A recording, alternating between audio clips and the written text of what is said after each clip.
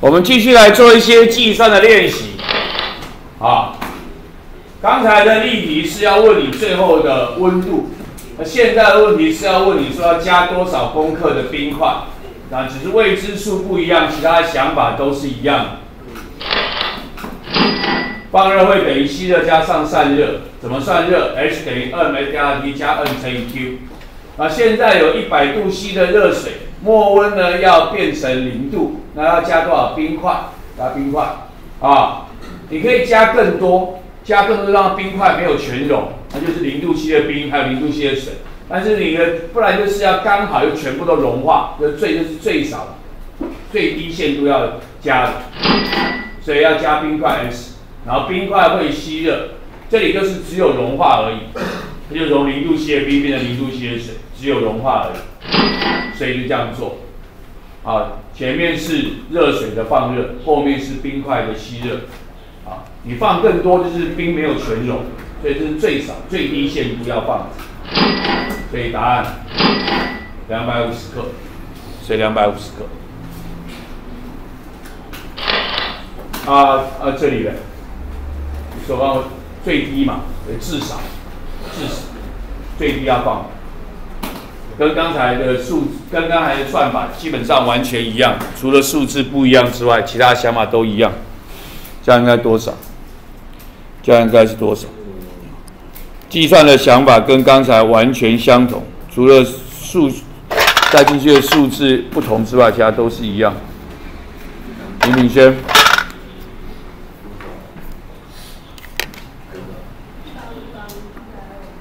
一百五，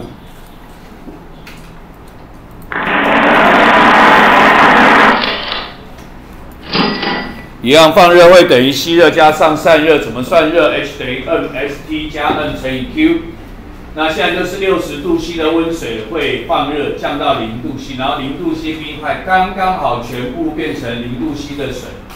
它就只有融化，没有后没有其他的 m S 加 T 的部分。所以就是左边就是六十度的降温，右边就是冰块的融化，m 乘以 Q，x 乘以八十，所以算出来叫做一百五十克，一百五十克，跟刚才的例题基本上完全一样，除了数字不一样之外。然后八十公克的冰块丢到这个水中，平衡温度二十五度，冰的融化热，然后这这里假设没有。问你冰块原来的温度，冰块原来的温度，所以显然这个冰块不是零度嘛，可能是零下十度啊，二十度，所以这个冰块的过程有几段呢？假如它是零，它假如它零下十度的话，它就会从零下十度 C 的冰变成零度 C 的冰，再从零度 C 的冰变成零度 C 的水，再从零度 C 的水最后变成二十五度 C 的水，所以这个冰的过程会分了。三段，这冰的过程会分成三段，然后呢，八八八八八完之后几万，所以谁在放热，谁是放热的，八十三度 C 的水会放热，谁在吸热，冰块在吸热，然后冰块吸热过程分了三段，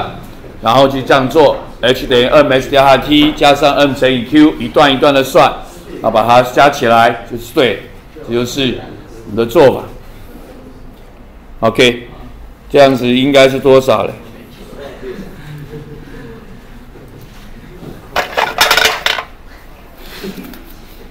张海敏，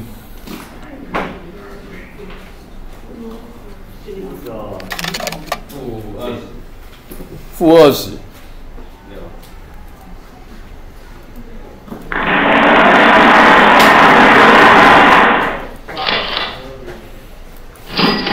放热会等于吸热加散热，怎么算热？H 等于 m S 加 T 加 N 乘以 Q。然后出温是冰块的出温，假设是 T 度，然后总共的过程有三段。好，所以呢，第一个是八十三度 C 的水降到二十五度，m S delta T。右边第一个，它要先从 T 度 C 的，就是负的 T 度 C 的冰变成零度 C 的冰，高温是比较。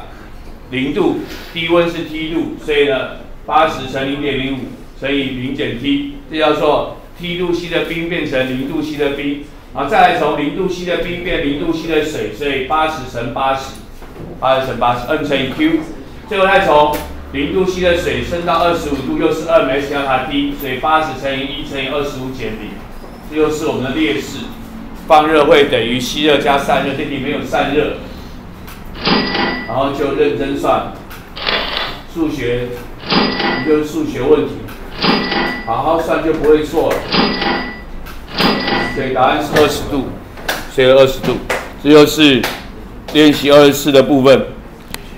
这是一个要计算，跟刚才再说一次，方法就是放热会等于吸热加散热，怎么算热？H 等于 m S 加 D 加 N 乘以 Q。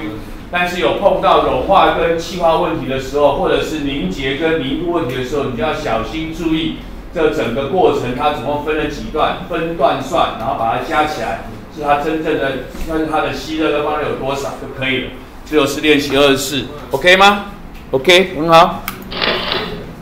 请写课后练习。